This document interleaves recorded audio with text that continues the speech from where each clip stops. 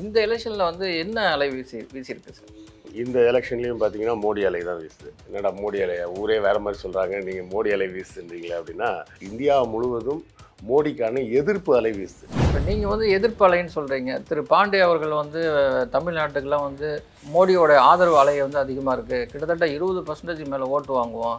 ஒரு பத்து சீட்டு வந்து ஜெயிப்போம் அப்படின்னு சொல்கிறாரு பாண்டே அவர் வாங்கின காசுக்கு கரெக்டாக கூவிட்டாருன்னு வச்சுக்கலாம். நம்ம வேணாம் இன்னும் விட்டா கூட அவர் அண்ணாமலை தான் அடுத்த சிஎம்னு கூட. வருங்கால பிரதமர் முதலில் வெற்றி பெற்ற இடமாக கோயம்புத்தூர் அமைவதற்கு வாய்ப்பு இருக்குது அதனால் எல்லோரும் அண்ணாமலைக்கு ஓட்டு போடுங்க அப்படின்னு. இந்த தேர்தலில் வந்து பார்த்திங்கன்னா உண்மையில் வந்து பாருங்க எலெக்ஷன் முடிஞ்சதுக்கப்புறம் முதல் பலி வந்து அண்ணாமலை தான். இப்போ தமிழிசை அவர்களை அவங்க கூட்டு வந்ததுக்கு முக்கிய காரணமே என்னவாக இருக்கும் அப்படின்னு சொன்னால் இப்போ அண்ணாமலையை தூக்குனா அடுத்தால யாரை போடுறது? தலைவராக. பாஜகவுக்குள்ள வேற ஆள் இல்லை. இருந்த எல்லாரையும் காலி பண்ணிட்டாரு. தீண்டாமை தடுப்பு சட்டத்திலேயே கேஸ் போடலாம். ஏன்னா சனாதனம் சரின்னு ஒரு ஆள் பேசுறாரு அப்படின்னா என்ன அர்த்தம்? தீண்டாமை சரின்னு சொல்றாருன்னு அர்த்தம். தீண்டாமை சரின்னு சொல்றாருன்னா அவர் இந்தியன் கான்ஸ்டியூஷனுக்கு எதிராக பேசுறாருன்னு அர்த்தம். சம்பந்தா சம்பந்தம் இல்லாமல் எதையோ உளறிக்கிட்டு இருக்கிறாங்க அவங்களுடைய தேர்தல் அறிக்கையிலே நீங்கள் பார்த்துருப்பீங்க. ரெண்டாயிரத்தி நாற்பத்தி ஏழில் இந்தியா வல்லரசா மாறிடும். ரெண்டாயிரத்தி முப்பத்தாறில் இந்தியாவில் ஒலிம்பிக் நடத்த போகிறோம் முதல்ல ரெண்டாயிரத்தி முப்பத்தாறில் மோடி உயிரோட இருப்பாரா? இல்லை நான் உயிரோட இருப்பேனானே தெரியாது. கடைசி கட்ட பிரச்சாரத்தில் திரு அண்ணாமலை அவர்கள் வீட்டை வந்து என் உயிரை போனாலும் வரவிட மாட்டோம் தடுப்போம் அப்படின்னு சொல்லி சொல்றாரு. இன்னொரு பக்கம் வந்து நீட்டை வந்து எதிர்க்கிற பாமகவோட கூட்டணியாகவும் இருக்காங்க. அது பாமகவோட சந்தர்ப்பவாதம். பாமக திமுக ஏன் சாதிவாரி கணக்கெடுப்பு செய்ய மாட்டேங்க மாட்றாங்கன்னு கேள்வியை கேட்டுட்டு சாதிவாரி கணக்கெடுப்பு நாங்கள் எந்த காலத்துலையும் செய்ய மாட்டோம்னு சொல்கிற பிஜேபி கூட போய் கூட்டணியாக வைக்கிறாங்க.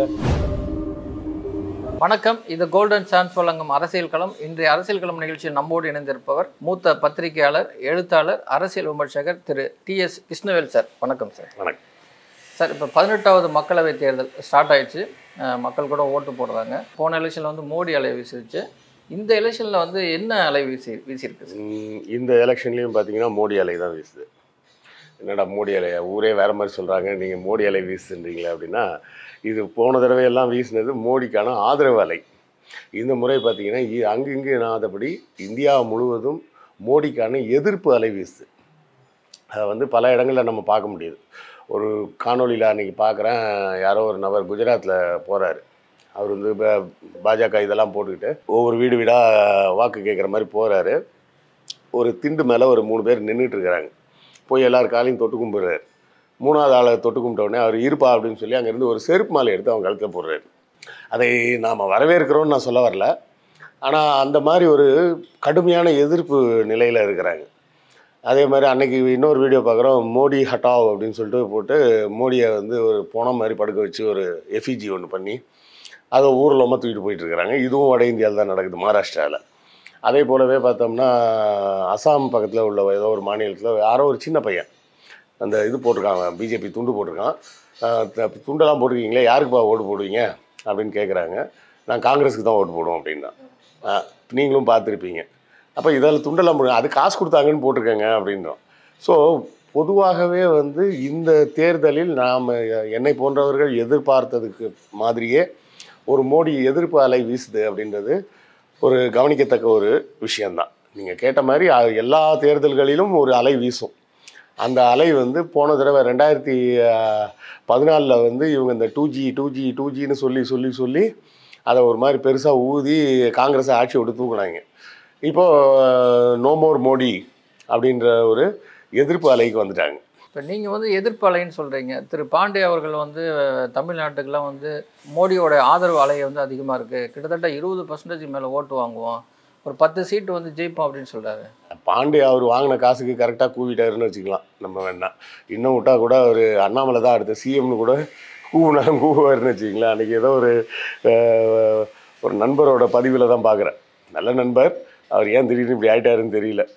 இப்போ என்ன போட்டிருக்காருன்னா கோயம்புத்தூருக்கு இப்போது மிகப்பெரிய வாய்ப்பு கிடைச்சிருக்கு. வருங்கால பிரதமர் முதலில் வெற்றி பெற்ற எம்பியாக வெற்றி பெற்ற இடமாக கோயம்புத்தூர் அமைவதற்கு வாய்ப்பு இருக்குது அதனால் எல்லோரும் அண்ணாமலைக்கு ஓட்டு போடுங்க அப்படின்னு. அதான் இவர் வந்து அண்ணாமலை இப்போ பிரதமருக்கே கொண்டு போயிட்டார் அப்படிங்கும்போது பாண்டே போன்றவர்கள் இருபது சீட்டு வரும் பத்து சீட்டு வரும் பதினஞ்சு சீட்டு வரும் அப்படிங்கிறதுலாம் ஆனால் இவங்க எல்லாருமே இவங்க வந்து எல்லாருமே கோடி மீடியான்றது நமக்கு எல்லாருக்குமே தெரிஞ்ச விஷயம்தான். இவர்கள் சொல்வதை நாம் வந்து பெரிய விஷயமா எடுத்துக்கணுன்னோ இல்லை அதை பற்றி விவாதிக்கிறதுக்கு கூட எதுவும் விஷயமே கிடையாது. ஏன்னா பாண்டே ஒரு முழுக்க முழுக்க நூறு சதவீதமான ஒரு சங்கீத்தனமான சிந்தனையும் கடுமையான இந்துத்துவ ஆதரவு சிந்தனையும் இந்துத்துவ ஆதரவு சிந்தனை இருந்தால் கூட பரவாயில்ல. பார்ப்பனிய மேலாதிக்கம் அப்படின்றத பாராட்டக்கூடிய ஒரு நபராகவும் இருக்கக்கூடியவர். அப்படின்றப்ப அவரோட கருத்துக்களை எல்லாம் நாம் புறந்தள்ளுறது தான் நல்லது. இப்போ இந்த எலெக்ஷனில் வந்து ஒரு ரெண்டு மாநிலத்துக்கு வந்து ஆளுநராக இருந்த திரு தமிழிசை வந்து களத்தில் வந்து இறக்கி விட்டாங்க. களத்தில் வந்து ப இறங்கும் போது வந்து ஒரு சந்தோஷமாக ஃபீல் பண்ணாங்க. அதுக்கப்புறம் வந்து அந்த சந்தோஷம் அவருக்கு நீடிச்சதா இல்லை அவங்க வெற்றி பெறுவாங்களா? இல்லை அவங்க வெற்றி பெறுவாங்களா வெற்றி பெற மாட்டாங்களான்றதை தாண்டி அவங்க வந்து அண்ணாமலையை விட அதிக வாக்கு வாங்குவாரா வாங்க மாட்டாங்களா அப்படிங்கிறத தான் நம்ம முக்கியமாக பார்க்கணும். இந்த தேர்தலில் வந்து பார்த்திங்கன்னா உண்மையில் வந்து பாருங்க எலெக்ஷன் முடிஞ்சதுக்கப்புறம் முதல் பலி வந்து அண்ணாமலை தான். முதல் பலி அண்ணாமலை தான் பலி கொடுக்க போகிறாங்க ஏன்னா அண்ணாமலை வந்து கட்சியை எப்படி மாற்றிட்டாரு அப்படின்னா முன்னாடி எல்லோரையும் அரவணைச்சு போயிட்டு இருக்கிற மாதிரி இருந்ததை போய் தன் சொல் பேச்சு கேட்குறவங்கள மட்டும்தான் கட்சிக்குள்ளே வச்சுப்பேன்ற மாதிரி மற்ற எல்லாரையும் கட்சியை விட்டு துரத்திட்டார். ஆல்மோஸ்ட் துரத்திட்டாருன்னு வச்சுப்போம் அந்த துரத்தப்பட்ட நபர்கள் மீது நமக்கு வந்து தனிப்பட்ட விருப்பு வெறுப்புலாம் எதுவும் கிடையாது. இல்லை பிஜேபின்றது கட்சி அவங்க சௌரியத்துக்கு என்ன வேணால் பண்ணிட்டு போகிறாங்க இந்த தேர்தலில் வந்து அண்ணாமலை இந்த கடந்த தன்னுடைய தலைமைக்கு வந்ததுக்கு பிறகு அவர் செஞ்ச வேலை என்னென்னா பாஜகவில் குறிப்பாக பேசக்கூடிய நபராக இருந்த பலரை ஓரங்கட்டி கட்சி விட்டே வெளியே அமிச்சிட்டார் பல்வேறு அதுலேயும் குறிப்பாக பெரும்பான்மையானவர்கள் மீது செக்ஸ் ஸ்கேண்டல்ஸ் பாலியல் ரீதியான கா வீ வீடியோக்களெல்லாம் வெளியிட்டுக்கிட்டு அதாவது ஒருத்தர் மீது என்ன வேணால் பகை இருக்கலாம் எதிர்ப்புணர்ச்சி இருக்கலாம். அதற்காக வந்து அவரது அந்தரங்க வீடியோன்றதை வந்து வெடி எடுத்து வெளியிடுறதுன்றது வந்து அதுவும் பொதுவெளியில் வெளியிடுறதுன்றது வந்து ரொம்ப கேவலமான ஒரு அரசியல் சரிங்களா? அது ரொம்ப கேவலமான அரசியல். அது வந்து நமக்கு பிடிக்காத நபராக கூட இருக்கலாம். அதுக்காக அந்த வீடியோலாம் த- நான் சொல்கிறது நண்பர்கள்ட்ட தான் சொல்லுவேன். அதெல்லாம் என்ன கருமத்துக்கு ஃபார்வேர்ட் பண்ணுறீங்க அதை விட்டு தொலைங்க. அது ஏன்னா செக்ஸ் என்பது ஒரு தனிப்பட்ட நபரின் தனிப்பட்ட விஷயம் அது. அதை பப்ளிக்கில் கொண்டாந்து போட்டு அசிங்கப்படுத்துறது உருட்டுறது பெரட்டுறதுன்றதெல்லாம் ரொம்ப மோசமான ஒரு அரசியல். அந்த மோசமான அரசியலை உட்கட்சி பூசல்களை தீர்ப்பதற்கு அண்ணாமலை பயன்படுத்திட்டு எல்லாரையும் காலி பண்ணி விட்டார். இப்போ தமிழிசை அவர்களை அவங்க கூட்டு வந்ததுக்கு முக்கிய காரணமே என்னவாக இருக்கும் அப்படின்னு சொன்னால் இப்போ அண்ணாமலையை தூக்குனா அடுத்தால யாரை போடுறது? தலைவராக. பாஜகவுக்குள்ளே வேற ஆள் இல்லை. இருந்த எல்லாரையும் காலி பண்ணிட்டாரு. சரிங்களா? அப்போ அடுத்த தலைமைக்கு ஆள் இல்லைன்றப்ப தான் இவங்களை கூட்டு வராங்க. நீங்கள் வந்துருங்க எலெக்ஷன் நில்லுங்க. எப்படியும் எலெக்ஷனில் தோக்கமான்றது வேற விஷயம். தோல்விக்கு பிறகு அந்த தோல்வியின் பழியை தூக்கி அண்ணாமலை மேலே போட்டு அண்ணாமலையை கட்சி விட்டு விலக்கிடலாம் விலக்கிட்டு உங்களை தலைமையாக்கிடுறோம் அப்படின்னு சொல்லி தான் தமிழிசை சவுந்தரராஜனை வர சொல்லியிருப்பாங்க. தமிழிசை சவுந்தரராஜனை வந்து கவர்னராக போட்டதே முதல்ல தப்பு. அவங்கள வந்து த பாஜக மாநில தலைவராகவே வச்சுருந்தாங்கன்னா கூட குறைஞ்சபட்சம் இன்னும் கொஞ்சமாவது பாஜக டெவலப் ஆகிருக்கும் உண்மையிலே. இப்போ நம்மை போன்றவர்களுக்கு பாஜக பிடிக்காதுன்னா கூட தமிழிசை மீது எந்த தனிப்பட்ட பகையும் கிடையாது. நம்ம பொதுவெளியில் பேசும்போது கூட என்ன சொ- பேசுவாங்க? அப்படின்னு பார்த்தீங்கன்னா தமிழிசை அது நம்ம அக்கா மாதிரிங்க விடுங்க அவங்க ஏதாவது பேசிட்டு போகிறாங்க அப்படி தான் எல்லாரும் சொல்லுவாங்களே தவிர மற்றபடி அவங்க மேலே வந்து ஒரு கோபமோ அவங்க மேலே ஒரு எதிரியை பார்க்கக்கூடிய ஒரு பார்வையோ வந்து தமிழக மக்களுக்கு இருந்ததில்லை. ஆனால் அண்ணாமலை வந்து இப்போ வந்து ஒரு அருவறுப்பு ஆன ஒரு அரசியலை செய்து எல்லார் மத்தியிலையும் கெட்ட பெயரை தான் சம்பாதிச்சு வச்சிருக்கிறார். ஸோ இந்த தேர்தலின் முடிவின் போது கண்டிப்பாக அண்ணாமலை பதவியிலிருந்து விலக்கப்படுவார். இல்லை கட்சியின் பொறுப்பிலிருந்தே விலக்கப்படுவார். தமிழிசை சவுந்தரராஜன் அடுத்த தலைவராக வருவதற்கு வாய்ப்புகள் உண்டு. தேர்தல் அறிவிப்புக்கு முன்பு வரை தமிழக ஆளுநர் ஆர் என் ரவி அவர்கள் ஒவ்வொரு நாளும் ஒரு ஒரு கருத்தை சொல்லி சர்ச்சையாகிட்டு இருந்தது. தேர்தல் தேதி ஆரம்பிச்சதுலேருந்து இன்ன வரைக்கும் சைலண்டாக இருக்காரு இதுக்கான காரணம் என்ன? காரணம் என்னன்னா நம்ம ஆட்டம் முடிஞ்சிருச்சுன்னு அவருக்கு தெரியும். அவரோட ஆட்டம்லாம் இன்னும் அந்த ஜூன் அஞ்சாம் தேதி தே தேர்தல் முடிவுகள் வரப்போதா? அது வரதான். அந்த தேர்தல் அறிவிப்பு வெளிவந்த அடுத்த நிமிஷம் இந்த பாஜக ஆதரவு கவர்னர்கள் எல்லோருமே பதவியிலிருந்து மாற்றப்படுவார்கள். அதில் வந்து ச- சந்தேகமே தேவையில்லை. ஏன்னா எல்லா இடங்களிலும் எங்கெல்லாம் பாஜக இல்லாத ஆட்சி நடக்குதோ அங்கெல்லாம் ஒரு கவர்னரை போட்டு அந்த ஊர் ஆட்சியை குழப்புறதுக்கும் அங்கே இருக்கிற வேலைகளை செய்ய விடாத அளவுக்கு எவ்வளோ டார்ச்சர் கொடுக்க முடியுமோ அவ்வளோ டார்ச்சரை கொடுத்து அதில் உச்சக்கட்டம் வந்து பஞ்சாபில் வந்து வேறு வழி இல்லாமல் அவங்க கோர்ட்டுக்கு போக வேண்டியதாகிடுச்சு என்னென்னா பட்ஜெட்டுக்கு அப்ரூவல் கொடுக்க மாட்டேங்கிறாரு அதாவது க வேறு எந்த தீர்மானத்தை வேணாலும் அவையில் வந்து நிராகரிக்கலாம் சண்டை போடலாம் இதெல்லாம் பண்ணலாம். பட்ஜெட்டை வந்து எ- எதிர்க்கட்சிகள் கூட எதிர்க்க மாட்டாங்க. அதோட அப்படியே விட்டுருவாங்க. என்னன்னா பட்ஜெட் நெ- நிறைவேறலை அப்படின்னு சொன்னால் அந்த அரசு கவிழ்ந்துருச்சுன்னு அர்த்தம். ஏன்னா பட்ஜெட் நிறைவேறலை அப்படின்னா என்ன அர்த்தம்னா அரசுக்கு வந்து செலவு பண்ண காசு இல்லை. காசு இல்லைன்னா அரசாங்கம் இருந்து என்ன இல்லாட்டி என்ன? அந்த ஆட்சியை க க- கவிழ்ந்துருச்சுன்றதுக்கு சமமான ஒரு நிகழ்வு அது. அப்படி ஒரு சுச்சுவேஷனில் பட்ஜெட்டுக்கு அப்ரூவல் கொடுக்க மாட்டேன்னு பஞ்சாப் கவர்னர் உட்காந்துருக்காரு அப்புறமா திருப்பி கோர்ட்டில் போய் பேசி வாங்கி அப்போ இந்த கவர்னர்கள் எல்லோருமே கவனத்தில் கொள்ளப்படுவார்கள். அடுத்த ஆட்சி மாற்றம் ஏற்படும் போது முதல் வேலையாக மாற்றப்பட போவது இந்த கவர்னர்கள் தான். ஸோ அதனால் இவர் ஆர் என் ரவி என்ன நினச்சிருப்பாரு? சரி பேசின வர பேசியாச்சு. இனிமேல் இப்போதைக்கு மோடிக்கும் ஒன்றும் பெருசாக ஆதரவு இருக்கிற மாதிரி தெரில வாயை வச்சுட்டு ஏன்னா அவர்கள்லாம் வந்து சந்தர்ப்பவாதிகள்.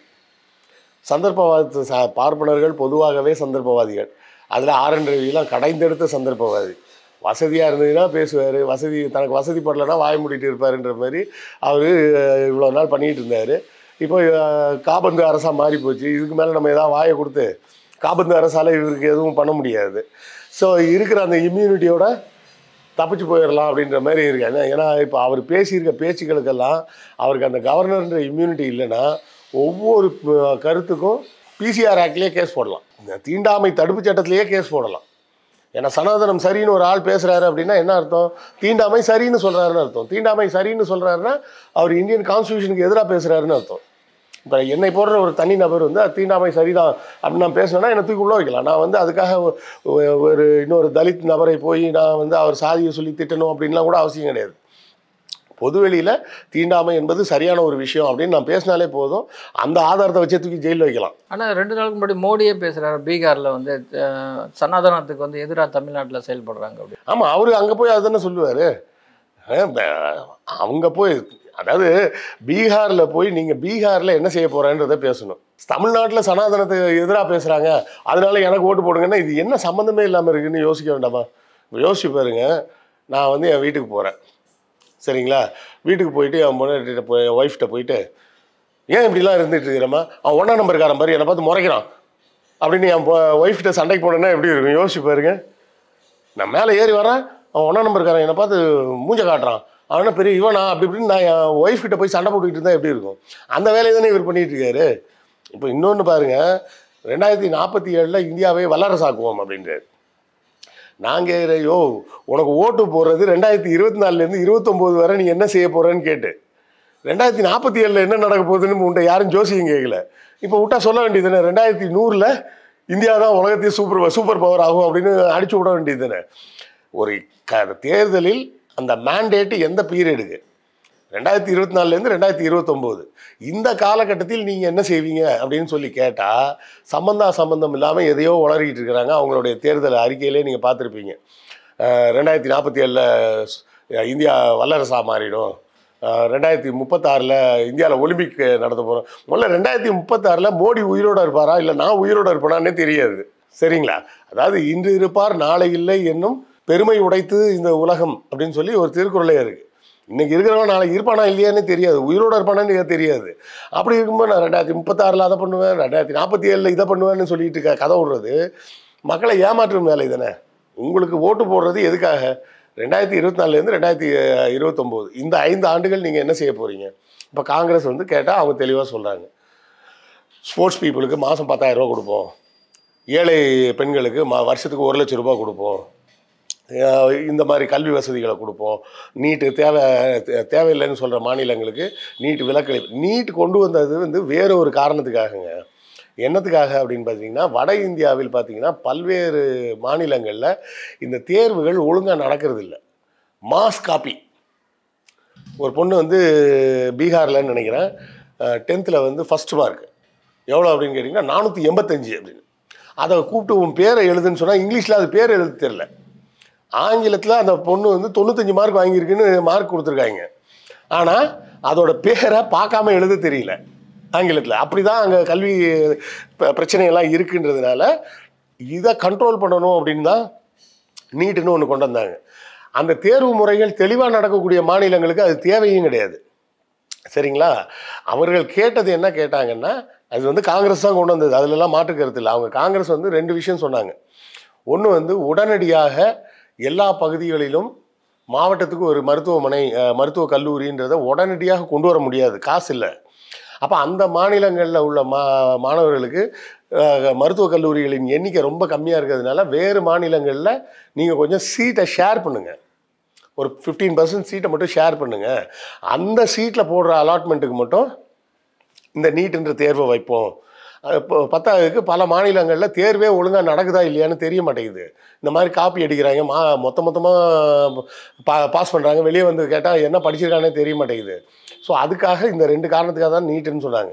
பாஜக வந்து என்ன பண்ணுச்சு இந்த ரெண்டு காரணத்தை குழி தோண்டி புதைச்சிட்டு மொத்தமாக எல்லா மாநிலத்துக்கும் நீட்டு. எல்லா சீட்டுக்கும் நீட்டு. அவங்க கேட்டது பதினஞ்சு பர்சன்ட் சீட்டுக்கு மட்டும். இப்போ இவங்க என்ன சொல்கிறாங்க மிச்சம் இருக்க எண்பத்தஞ்சு பர்சன்ட்லேயே நீ நீட்டில் தான் போடு. அப்புறம் நீட்டில் போட ஃபில் ஆகாத சீட்டை என்ன பண்ணுறது அப்படின்னு கேட்டால் மாப்பப் அப்படின்ட்டாங்க அதுக்கு. மாப்பப்னா என்ன அர்த்தம்னா எந்த மார்க் வாங்கினவனா இருந்தாலும் சேர்த்துக்கோ. கடைசியாக மிச்சம் இருக்கிறது மாப்பப்னா நம்ம தான் சொல்கிறோமே வீட்டில் மாப் பண்ணுறோமே அதான் மாப்பப் மிச்சம் இருக்கிற சீட்டை யாருக்கு வேணால் நீ போட்டுக்கோ. அவன் வந்து அந்த நீட்டில் குவாலிஃபையிங் மார்க் வாங்கியிருந்தாலும் பரவாயில்ல வாங்கலைனாலும் பரவாயில்ல போட்டுக்கோ. அப்போ அந்த குவாலிஃபையிங் மார்க்கே வாங்காமல் பணம் கட்டுறதுக்கு யார் ரெடியாக இருப்பா? பெரிய பணக்கார வீட்டு பிள்ளைங்க தான் இருக்கும். ஸோ அவங்க வந்து வருஷத்துக்கு இருபது லட்சம் இருபது ஒவ்வொரு காலேஜை பொறுத்து இருக்குது வருஷத்துக்கு பதினஞ்சுலேருந்து இருபத்தஞ்சு லட்சம் ரூபாய் வசூல் பண்ணுறாங்க ப்ரைவேட் காலேஜஸில் அந்த ப்ரைவேட் காலேஜஸில் அந்த மிச்சம் இருக்கிற சீட்டை பூரா மாப்பப் சீட்னு போட்டு விட்டுறாங்க. இப்போ நீங்கள் அலாட்மெண்ட்லேயே போட்டால் கூட தனியாக ம மற்றவங்க வரமாட்டாங்க. ஏன்னா அவ்வளோ ஃபீஸ் கட்ட முடியாது. நான் கவர்மெண்ட் காலேஜ் கிடச்சா போகிறேன் இல்லைனா இல்லைன்ட்டு போயிடுவாங்க. அப்போ இந்த சீட்டு ஃபுல்லாக காலியாக இருக்கும். இதில் வர வந்து படிக்கிறவங்க பூரா யார்? ஃபுல்லாக எல்லாம் தத்திங்க. எதுவுமே குவாலிஃபையிங் மார்க்கு கூட வாங்காதவங்க தான் இந்த மாப்பப் சீட்டில் போய் உட்காந்து படிக்கிறாங்க. அப்போ யோசிச்சு பாருங்க இந்த நீட்டுன்றதை நாங்கள் தகுதிக்கு அடிப்படையில் கொண்டு வரணும்னு சொல்லி கொண்டு வந்துட்டு கடைசியில் மார்க் வாங்க முடியாத பசங்களெல்லாம் கொண்டு போய் மெடிக்கல் சீட்டில் சேர்க்கறதுக்கு உண்டான வேலையை தான் இந்த பாஜக பண்ணியிருக்குன்றது தான் விஷயம். ஸோ இவர்களை பொறுத்தவரை ஏமாத்து வேலை மட்டும் தான் இருக்கு. Twenty four to twenty nine என்ன பண்ண போகிறேன்னு சொல்லுன்னு கேட்டால் தேர்ட்டி சிக்ஸில் என்ன பண்ணுவேன்? ஃபார்ட்டி செவனில் என்ன பண்ணுவேன்? ஹண்ட்ரட்ல என்ன பண்ணுவேன்னு கதை விட்டுக்கிட்டு இருக்கிறாங்க. கடைசி கட்ட பிரச்சாரத்தில் திரு அண்ணாமலை அவர்கள் நீட்டை வந்து என் உயிரை போனாலும் வரவிட மாட்டேன் தடுப்போம் அப்படின்னு சொல்லி சொல்றாரு. இன்னொரு பக்கம் வந்து நீட்டை வந்து எதிர்க்கிற பாமகவோட கூட்டணியாகவும் இருக்காங்க. இந்த முரண்பாடை வந்து இந்த இன்னைக்கு போடுற இந்த எலெக்ஷனில் வந்து எதிரொலிக்குமா? அது பாமகவோட சந்தர்ப்பவாதம். ஏன்னா நல்ல நீங்கள் நீட்டை சொல்கிறீங்க நான் இன்னொன்று சொல்கிறேன் பாமகவின் அடிப்படை அடிப்படையாக வைக்கக்கூடிய கோரிக்கை யார்கிட்ட வைக்கிறாங்க? டிஎம்கேட்ட கோரி கோரிக்கை வைக்கிறாங்க. சாதி வாரி கணக்கெடுப்பு நீங்கள் ஏன் பண்ணலை? பீகாரில் பண்ணிட்டாங்க. பீகாரில் பண்ணலாம். அந்த ரெக்கார்டை வச்சு எதுவும் பண்ண முடியாது. அது வந்து ஹண்ட்ரட் பர்சன்ட் அப்ரூவ்டு டாக்குமெண்ட் கிடையாது. அது ஒரு சர்வே அவ்வளோதான் அந்த சர்வேயே யார் வேணால் எடுக்கலாம். நான் கூட எடுக்கலாம். யூடியூப்லேயே சொல்லி எல்லோரும் வாங்க. அந்தந்த ஊரில் போய் நம்ம சர்வே எடுப்போம். சாதி எந்தெந்த சாதி யார் யார் இருக்காங்கன்னு போய் ஒரு சர்வே எடுப்போம்னு சொல்லி நான் கூட கேட்கலாம். அது வந்து அவர் ஆத்தன்டிகேட்டடான டேட்டாவாக அரசாங்கத்தால் கருதப்படாது. அரசாங்கத்தால் எந்த டேட்டா கருதப்படும்னா சென்சஸில் எடுத்தால் தான் அது ஒத்துக்குப்பாங்களே தவிர அந்தந்த மாநிலங்கள் எடுத்ததெல்லாம் ஒத்துக்க மாட்டாங்க. இப்போ ஒரு மாநிலம் வந்து வேணும்னே ஒரு டேட்டாவை க்ரியேட் பண்ணி பாருங்கள் பாருங்க எங்கள் மாநிலத்தில் கல்வி அறிவு ரொம்ப கம்மியாக இருக்குது எங்களுக்கு இன்னும் கொஞ்சம் எக்ஸ்ட்ரா பணம் கொடுங்கன்னு கேட்டால் அந்த டேட்டாவை ஏற்றுக்க முடியுமா? ஏற்றுக்க முடியாது. அதான் அப்போ இந்த சோஷியல் டெமோகிராஃபி அப்படிங்கிறது வந்து சென்சஸில் இருந்து எடுத்தால் தான் ஏற்றுக்க முடியும். பாமக திமுக ஏன் சாதிவாரி கணக்கெடுப்பு செய்ய மாட்டேங்க மாட்றாங்கன்னு கேள்வியை கேட்டுட்டு சாதிவாரி கணக்கெடுப்பு நாங்கள் எந்த காலத்துலையும் செய்ய மாட்டோம்னு சொல்கிற பிஜேபி கூட போய் கூட்டணியாக வைக்கிறாங்க. ஏன்னா ரெண்டாயிரத்தி இருபத்தொன்னில் எடுத்துருக்கணும். மக்கள் தொகை கணக்கெடுப்பு எடுத்துருக்கணும். எடுக்கலை. கேட்டால் கொரோனான்ட்டாங்க. இருபத்தி ரெண்டில் எடுத்துருக்கலாம் இருபத்தி மூணில் எடுத்துருக்கலாம். ஏன் எடுக்கவே இல்லை? இந்த வருஷம் எலெக்ஷன் விட்ருங்க இதுக்கு முந்தின ரெண்டு வருஷத்தில் எடுத்துருக்கலாமே. ஏன் எடுக்கவே இல்லை? கொரோனா லாக்டவுன்லாம் இரு ரெண்டாயிரத்தி இருபதில் தான் இருந்தது. ரெண்டாயிரத்தி இருபத்தொன்னில் அவ்வளோ பெரிய லாக்டவுன்லாம் கிடையாது. அந்த மார்ச் மாதம் மட்டும் ஒரே ஒரு லா சின்ன லாக்டவுன் போட்டாங்க. அதோட முடிஞ்சுது. ஆனால் இருபத்தி ரெண்டு இருபத்தி மூணில் சாதிவாரி கணக்கெடுப்பு வேணாம் வெறும் கணக்கெடுப்பே எடுக்கலையா அவங்க? அந்த க கட்சி கூட போய் சாதிவாரி கணக்கெடுப்பு நாங்கள் எடுக்கவே மாட்டேன்னு சொல்கிற கட்சி கூட போய் பாமக கூட்டணி வச்சிருக்கு அப்படின்னு சொன்னால் இது வெறும் சந்தர்ப்பவாதம். அவங்க தங்கள் வசதிக்கு மோடிஜிகிட்ட போய் சேர்ந்துக்கிட்டு அன்புமணிக்கோ இல்லை அவர் மனைவிக்கோ ராஜ்யசபா சீட் வாங்கிடலாம். தமிழ்நாட்டில் எப்படியும் தோத்துரும். வேற எங்கேயாவது ஜெயிக்கிற சீட்டுகளை வச்சுக்கிட்டு தங்கள் குடும்பத்துக்கு ஒரு ராஜ்யசபா சீட் கன்ஃபார்ம் பண்ணிக்கணும் அப்படிங்கிறதுல மட்டும்தான் அவங்க குறியாக இருக்கிறாங்க. பதினெட்டாவது மக்களவைத் தேர்தல் நடந்துகிட்டு இருக்கிற இந்த சூழல்ல உங்களுடைய பார்வையில் தமிழ்நாட்டில் யார் எவ்வளோ சீட்டு பிடிப்பா தமிழ்நாட்டை பொறுத்தவரை நாம் முக்கியமாக பார்க்க வேண்டிய சில வேட்பாளர்கள்லாம் இருக்காங்க. உதாரணத்துக்கு தமிழிசை சவுந்தரராஜன் அண்ணாமலை பொன் ராதாகிருஷ்ணன் பா பாஜகவை பொறுத்தவரை மட்டும் பார்த்தோம்னா இந்த மூணு பேர் வந்து ரொம்ப முக்கியமாக நம்ம கவனிக்க வேண்டியது. இந்த மூணு பேரும் குறைந்தபட்சம் இரண்டாவது இடத்துக்கு வருவாங்களா அப்படிங்கிறது ஒரு கேள்வி இருக்குது இப்போ தமிழகத்தை பொறுத்தவரை இந்த நாற்பது சீட்லேயும் கேள்வி வந்து ரெண்டாவது இடத்துல யார் வரப்போகிறான்றது தான். முதல் இடத்துல யார் வரமாட்டாங்க அப்படின்றதுல எல்லாருமே தெளிவாக இருக்கிறாங்க. அதனால் முதல் இடம் என்பது இந்தியா கூட்டணி தான் நான் நாற்பது இடமும் ஜெயிக்க போகுதுன்றது எல்லாருக்குமே தெரிஞ்ச விஷயம். இப்போ கொஸ்டின் என்னென்னா செகண்ட் பிளேஸுக்கு யார் வருவா?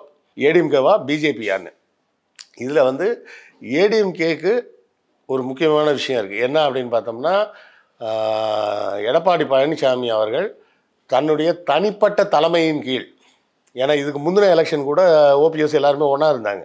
இப்போ தனிப்பட்ட தலைமையின் கீழ் கத்த கட்சி தலைமையை கைப்பற்றிய பிறகு தனிப்பட்ட முறையில் அவர் தன்னுடைய பவரை காட்டக்கூடிய ஒரு தருணம் இது. இந்த இடத்துல அவர் வந்து மூணாவது எல்லாம் போயிட்டாருன்னா சில பல இடங்களில் மூணாவது இடத்துக்கெல்லாம் அதிமுகவை கொண்டு போயிட்டார் அப்படின்னு சொன்னால் அது அவருக்கே ஒரு பெ- பெ- பெரிய பின்விளைவை ஏற்படுத்தும். அதாக இவர் வந்து தன்னுடைய அந்த கட்சி கட்டமைப்பு அந்த கட்டமைப்புன்றது ஒரு மிகப்பெரிய விஷயங்க. அதாவது ஒவ்வொரு பூத்துலேயும் ஒவ்வொரு அதாவது ஒவ்வொரு எலெக்ஷன் அந்த சென்டர்லேயும் ஒவ்வொரு பூத்து பூத்தாக இருக்கும். அந்த பூத்துக்குள்ளேயே பார்த்தீங்கன்னா ஒவ்வொரு ஓட்டிங் மிஷின் வச்சுருக்கிறத ஒரு பத்து இடத்துல வச்சுருப்பாங்க. அந்த பத்து இடத்துக்குள்ளேயும் கட்சியோட ஏஜெண்ட் ஒரு ஆள் உட்காரணும். சரிங்களா? அந்த அளவுக்கு கட்டமைப்பு வந்து டிஎம்கே ஏடிஎம்கே ரெண்டு கட்சியை தவிர தமிழ்நாட்டில் வேறு எந்த கட்சிக்குமே கிடையாது. அது- அது இல்லாமல் தேர்தலை முதல்ல சந்திக்கவே முடியாது. தேர்தலை சந்திக்கணும்னா அந்த கீழ்மட்டத்தில் ஆள் வேணும். இப்போ இங்கே ஒரு பூத் இருக்குது எம்ஜிஆர் நகரில் இங்கே ஒரு ஸ்கூலில் ஒரு பூத் போட்டிருக்காங்க அப்படின்னா உள்ள பத்து ஓட்டிங் மிஷின் வச்சுருக்காங்கன்னா பத்து இடத்துலையும் ஆள் இருக்கணும். பிஜேபிக்கு மொத்த சென்னைக்கே பத்து பேர் கிடைப்பானான்றதுலாம் சந்தேகம்தான். அப்படி இருக்கும்போது அவர்கள்லாம் ரெண்டாவது இடத்துக்கு வர வாய்ப்பில்லை. அப்படி ஒரு வேலை எங்கேயாவது வந்தால் கூட இந்த மூணு இடத்துல வந்துட்டாங்கன்னா அந்த தனிப்பட்ட ஸ்டார் கேண்டிடேட் நான்லாம் நானே வந்துட்டேன் பத்தியா அப்படின்னாவது சொல்லலாம். இல்லை அதுவும் வராமல் போனாங்கன்னா அவர்களுக்கு இன்னும் அது ரொம்ப கேவலமான ஒரு தோல்வியாக இருக்கும். அதாவது தமிழிசை அக்கா தான் இதெல்லாம் தெளிவாக பேசுவாங்க. இது ஒரு மரியாதைக்குரிய வெற்றி வ- தோல்வி அப்படி இப்படின்லாம் பேசுவாங்க. அது அந்த மாதிரிலாம் பேசுகிறதுக்கு பிஜேபியில் இப்போல்லாம் ஆளே இல்லை. ஏதாவது உளர்றது தான் பண்ணிகிட்டு இருக்கிறாங்களே வழிய வேறு ஆள் இல்லை. ஸோ இந்த மாதிரி ஸ்டார் கேண்டிடேட்ஸ் நிற்கிற இடத்துல யாராவது வர்றாங்களான்னு பார்க்கணும். நயினார் நாகேந்திரன் கூட ஒரு முக்கியமான ஸ்டார் கேண்டிடேட் தான். அவரை வந்து பிஜேபியில் தான் நிற்கிறார் அவர். ஆனால் அவரை வந்து எல்லாருமே ஏடிஎம்கேக்காரன் தான் இன்னும் நினச்சிட்டு இருக்காங்க. அவர் ஏடிஎம்கேலேருந்து இங்கே வந்துட்டாருன்னா கூட இன்னும் சொல்ல போனால் திருநெல்வேலியில் பார்த்தீங்கன்னா நயினார் நாகேந்திரன்னா அவர் ஏடிஎம்கே தான். அவர் பிஜேபியா அப்படியா? அப்படின்னு தான் கேட்பாங்க. அந்த மாதிரி ஒரு நல்ல பொட்டன்ஷியலான ஒரு கேண்டிடேட்டு அது அதுவும் திருநெல்வேலியே நிற்கிறாரு அதே போலவே பொன் ராதாகிருஷ்ணன் அவரும் க கன்னியாகுமரி நார்வேல் வட்டாரத்தில் மிகவும் ப- பேர் வாங்கின ஒருத்தர். அவரால் தான் அந்த வ- க குமரி மாவட்டத்தில் ப பாஜகன்றது ஒரு கொஞ்சோண்டு உயிரோடு இருக்குது அப்படின்றதுக்கே அவர் ஒருத்தர் தான் காரணம். அதே போல் தமிழிசை தமிழிசை இந்த வாட்டி போன தடவை செஞ்ச தப்பை செய்ய வேணாம். போன தடவை போய் தேவையில்லாமல் தூத்துக்குடியில் நின்று தோற்று போகணும் அப்படின்றதுனால அங்கே வேண்டான்னு சொல்லிட்டு தெளிவாக தென் சென்னைக்கு வந்திருக்கிறாங்க. தென் சென்னையை பொறுத்தவரை நகர்ப்புற வாக்காளர்கள். நகர்ப்ப தூத்துக்குடினா கூட நாடார் வா வாக்கு அந்த எப்படி அப்படின்னு அந்த சாதிய பிரச்சனையெல்லாம் வரும். நகரத்தில் வந்து அந்த பிரச்சனையெல்லாம் இருக்காது. அதனால் தமிழிசை சவுந்தரராஜனுக்குன்னு இருக்கக்கூடிய ஒரு செல்வாக்கின் காரணமாக ஏதாவது ஒரு கொஞ்சம் வாக்குகள் வாங்க வாங்குறதுக்கு வாய்ப்பு இருக்குது இதைத்தான் நம்ம பார்க்கணும். மற்றபடி இந்த நான்கு இடங்களை தவிர மீதி எல்லா இடத்துலையும் ஏடிஎம்கே செகண்ட் வந்துருச்சுன்னா பழனிசாமி ஜெயிச்சிட்டாருன்னு அர்த்தம். இப்போ கூட்டணியில் இருக்கிற Thiru OPS Panneerselvam and TTV Dhinakaran அவங்களோட நிலைமை. அவங்கெல்லாம் வந்து அதாவது ஒவ்வொரு எலெக்ஷன்லேயும் சில காமெடிக்காக சில பேர் இருப்பாங்க. காமெடி கண்டென்ட்டுக்காக. அப்படி தான் டிடிவியாக இருக்கட்டும் ஜிகே வாசனாக இருக்கட்டும் இவர் ஓபிஎஸ்ஸாக இருக்கட்டும் எல்லாம் ஆளுக்கு கொஞ்சம் கொஞ்சம் போய் நின்றுக்கிட்டு கா காமெடி பண்ணிகிட்டு இருக்கிறாங்க. நல்லா நீங்கள் பார்த்துருப்பீங்க இந்த தேர்தலில் பரப்புரையில் வந்து யாரும் பெருசாக செலவே பண்ணல. எங்கேயுமே வந்து பெருசாக கூட்டங்களோ அந்த பெரிய மேடை பேச்சுகளோ தொடர்ச்சியாக ஆட்டோவில் கத்திக்கிட்டு போகிறது இது எதுவுமே இந்த வாட்டி பெருசாக எதுவுமே இல்லை. காரணம் என்னென்னா எல்லாருக்குமே ரிசல்ட் தெரியும். இந்தியா கூட்டணிக்கும் தெரியும். நம்ம எப்படியும் ஜெயிச்சிட தான் போகிறோம் பேசிக்காக அடிப்படையாக தேவையான பரப்புரையை செஞ்சால் போதும்னு. எதிர்ப்பு தரப்புலையும் சரி. எப்படியும் நம்ம தோக தான் போகிறோம் இதுக்கு வெட்டியாக தண்டமாக காசை செலவு பண்ணிட்டு? அப்படி அவங்களும் செலவு பண்ண ரெடியாக இல்லை? இவங்களும் செலவு பண்ண ரெடி இல்லைன்றது தான் இன்றைக்கி நம்ம பார்க்கக்கூடிய சூழலாக இருக்குது இதில் இவங்க நடுவில் இவங்களும் கொஞ்சம் வந்து வந்து காமெடி பண்ணிட்டு போயிட்டு இருக்கிறாங்க. டிடிவி ஓபிஎஸ் அப்புறம் ஜிகே வாசன் இவங்களும் நடுவில் நடுவில் வந்து காமெடி பண்ணிகிட்டு இருக்கிறாங்கன்றது தான் நம்ம பார்க்கணும்.